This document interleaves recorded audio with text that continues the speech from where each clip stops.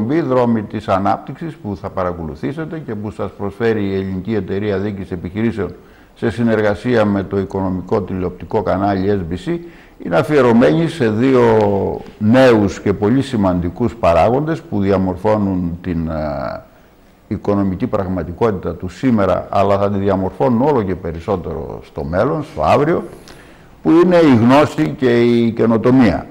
Και το θέμα αυτό που αφορά βεβαίως άμεσα και τον, ε, τους νέους, τους νέους που βγαίνουν ε, για πρώτη φορά στην αγορά εργασίας αλλά και στην αγορά της επιχειρηματικότητας θα το συζητήσουμε με τον ε, καθηγητή, τον κύριο Βασίλη Μακιό, ο οποίος πρωτοπορεί στον τομέα αυτόν, ε, όντας επικεφαλής ενός συνεργατικού οργανισμού, της Κοράλια, ρόλος του οποίου και σκοπός βεβαίως είναι ακριβώς αυτή η προώθηση της ε, καινοτομίας και της γνώσης ταυτοχρόνως ε, μέσα από συνεργασίες ε, νέων επιχειρηματιών. Να σας καλωσορίσω και στην εκπομπή αυτή και ευχαριστώ βέβαια για την παρουσία σας, την πολύ σημαντική παρουσία σας, δεδομένου ότι μιλάμε όλοι εδώ για ανάπτυξη στην Ελλάδα αλλά νομίζω ότι η μελλοντική ανάπτυξη πρέπει να στηρίζεται σε πρωτοποριακές ιδέες, σε πρωτοποριακές μεθόδους, σε δημιουργικές ε, αντιλήψεις. Ε, υπό αυτή την έννοια θα ήθελα έτσι σε πρώτη φάση να περιγράψετε αυτόν τον κόσμο της γνώσης και της καινοτομίας ώστε να δώσουμε κυρίως στους νέους ανθρώπους που παρακολουθούν την εκπομπή αυτή κάποια ερίσματα, κάποια τροφή για σκέψη. Χαίρομαι που είμαι μαζί σας κύριε Παπανδρόπουλε, άλλωστε γνωριζόμαστε πολλά χρόνια από το Μόναχο, όταν σπουδάζαμε τότε μαζί πριν από ε, αρκετούτσικα χρόνια. Και πιστεύω ότι εκεί, σε αυτό το, στο, την περίοδο μετά τον πόλεμο, δηλαδή την δεκαετία του 60 στο Μόναχο, εμπεδόθηκαν μέσα μας η μεθοδική σκέψη οι Γερμανοί δηλαδή μας βάλαν μέσα πώς μπορούμε να λύσουμε ένα πρόβλημα σωστά. Και τώρα απευθυνόμενος στους νέους αυτής της χώρας που το ζητούν, θα έλεγα ότι ο δρόμος προς την αλλαγή αυτής της μιζέριας που βρίσκεται η χώρα σήμερα είναι ο δρόμος των νέων προς την καινοτομία. Και αν θα έλεγα να ορίσουμε τη λέξη καινοτομία. Η καινοτομία είναι μια έξυπνη ιδέα, η οποία όμως μπορεί να γίνει προϊόν. Και πρέπει να τους δώσουμε το δρόμο πώς μια έξυπνη ιδέα μπορεί να φτάσει στο προϊόν. Δεν είναι εύκολο πράγμα. Και θα έλεγα ότι μπορούμε να πάρουμε το παράδειγμα του Skype. Όλοι μιλάτε με τον, τον υπολογιστή σας, με κάποιον άλλον κάπου αλλού. Το Skype βρέθηκε βασικά στην αρχή στη Δανία αλλά δεν το προσέξανε και έφυγε από τη Δανία και έγινε προϊόν στη Λιθουανία, στην Εστονία. Εστονία.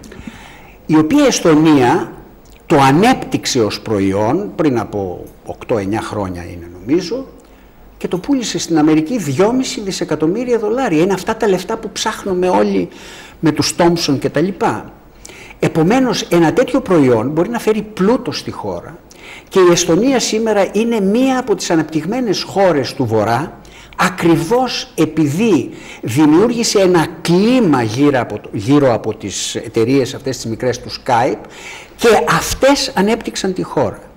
Λοιπόν, πώς εγώ νομίζω ότι μπορούμε στον ελληνικό χώρο να αλλάξουμε την οτροπία των παιδιών από το πανεπιστήμιο ώστε να βλέπουν την έξυπνη ιδέα τους να γίνει πραγματικότητα, να γίνει προϊόν. Αυτό λέγεται επιχειρηματικότητα. Δηλαδή για να βλέπεις από το αρχικό στάδιο το τελικό στάδιο το οποίο θα βγει στην αγορά, ο δρόμος είναι δύσκολος.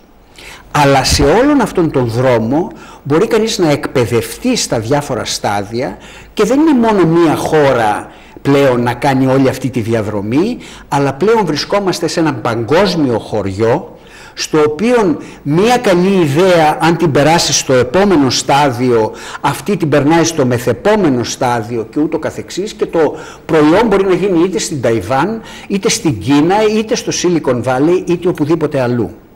Επομένως θα έλεγα στους νέους ανθρώπους της Ελλάδος πρέπει το πρώτο πράγμα που πρέπει να πει κανείς είναι ότι για να αλλάξει κανείς νοοτροπία πρέπει να δώσει πλέον στον πιτσιρικά τον Έλληνα το όραμα. Και το όραμα αυτό είναι ότι υπάρχει ένα παράδειγμα το οποίο μας λέει ότι όλα γίνονται με τη συνεργασία και η συνεργασία φέρνει μαζί της την συμπληρωματικότητα. Ό,τι δεν ξέρω εγώ, ξέρεις εσύ και ξέρει ο διπλανός και εγώ. Οι τρεις αν συμβάλλουμε το αποτέλεσμα θα είναι πολύ καλύτερο από ότι είναι όταν το πας να το πολεμήσεις μόνος σου. Και αυτό είναι ένα από τα δυστυχήματα στην Ελλάδα ότι είμαστε εγωιστές και θέλουμε να κάνουμε τα πάντα μόνοι μας. Επομένως αυτό το καινούριο πράγμα που λέγεται clustering, δηλαδή συνεργατικοί σχηματισμοί, χρειάζονται μία αλλαγή νοοτροπίας. Η αλλαγή νοοτροπίας θα έρθει από το όραμα που εμείς ως Έλληνες δίνουμε στα παιδιά και όταν βγαίνω και κάνω διαλέξεις σε όλο τον κόσμο πλέον και στην Ευρώπη βάζω την, ε, το φρέσκο της σχολής των Αθηνών που είναι στο Βατικανό που το έχει χτίσει ο Ραφαήλ, που το έχει ζωγραφίσει ο Ραφαήλ όπου έχει ό,τι έγινε στην αρχαία Ελλάδα με ποια ως αρχή την αρχή της αγοράς. Οι Ιώνες φιλόσοφοι, ο Θαλής, ο οποίος έβαλε τη βάση της φυσικής λέγοντας ότι ε, το σύμπαν είναι φτιαγμένο από γη, από αέρα και από νερό, νερό. ο συνδετικός κρίκος και αυτό είναι το πρώτο φυσικό postulate, δηλαδή πρώτη, το πρώτο αξίωμα φυσικής είναι η φωτιά. Ο συνδετικός κρίκος δηλαδή όταν τα ενώσεις αυτά με φωτιά αλλάζει, ο αέρας γίνεται νερό κτλ. Λοιπόν αυτός ήταν ο πρώτος. Η αυλή ήταν στη Μύκονο, λεγόταν αγορά. Δίπλα σε αυτόν τον πίνακα είναι ο Πυθαγόρας. Αυτό ήταν στην Νότιο Ιταλία. Στον Κρότονα ο Πυθαγόρας είχε μια σχολή η οποία τους είχε μαντρωμένους αυτούς, σαν μοναχούς και αυτοί τι διαπραγματεύονται, την αφηρημένη σκέψη, τον αριθμό. Ο αριθμός τι θα πει, ένα, δύο, τρία. Δεν θα πει τίποτα αν δεν του προσδώσεις κάτι. Επομένως η αφηρημένη σκέψη δίπλα στη φυσική έφεραν όλη την εξέλιξη στην ανθρωπότητα. Παραδίπλα είναι ο Ευκλήδης, ο οποίος μετρούσε οικόπεδα στην Αίγυπτο. Αλλά είχε σχολή που μετρώντας τα οικόπεδα εφάρμοσε πλέον τη γεωμετρία του οποίου ευκλήδιος, η ευκλήδιος γεωμετρία μόνο στον 20ο αιώνα, θυμάσαι στο Μόναχο, ήταν πλέον τα απόνερα της, του Αϊνστάιν και του Χάιζενμπεργκ, εγώ σπούδασα με το Χάιζενμπεργκ, που είπαν στον 20ο αιώνα ήταν η πρώτη επανάσταση στη γεωμετρία του Ευκλήδη, διότι έφερε τη γεωμετρία των καμπυλώσεων ο Αϊνστάιν, η οποία ήταν η γεωμετρία του Ρίμαν, του πρώτου Γερμανού μεγάλου ε, γεωμέτρη στην καμπυλότητα. Λοιπόν, δίπλα-δίπλα είναι ο Αρχιμίδης, ο οποίος ήταν ο πρώτος μηχανικός. Είχε σχολή στην Σικελία και μιλάω τώρα ότι αυτά ήταν σε όλον αυτόν τον χώρο που λεγόταν Μεγάλη Ελλάδα, Ιωνία, Ελλάδα, Μάγνα Γκρέτσια κτλ. Και παντού ήταν η αγορά. Μαζευόταν και δουλεύανε. Και ο Πλάτων, εδώ δίπλα μας, στην Αθήνα, έφτιαξε το πρώτο πανεπιστήμιο που ήταν η περιπατητική. Δηλαδή περπατούσαν με τον Σοκράτη και ρωτούσε ερωτήσεις. Ο Σοκράτης ποτέ δεν απαντούσε. Απαντούσαν οι άλλοι. Αυτό δεν το κάνουμε σήμερα. Αν δεις τα κανάλια, στα δικά σας τα κανάλια, στα δικά σας τα, τα, το, τα τοπία, όλοι μιλούν μόνοι τους. Κανείς δεν ακούει ο ένας τον άλλον. Αυτό ήταν το μεγαλείο της αρχαίας Ελλάδος. Και ο, και ο Αριστοτέλης, ο οποίος είναι ο τελικός, πήρε με τη γλώσσα του την ελληνική και δίνοντάς το στον Αλέξανδρο έφτιαξε την πρώτη παγκοσμιοποίηση ενώνοντας όλες αυτές τις γνώσεις της αγοράς.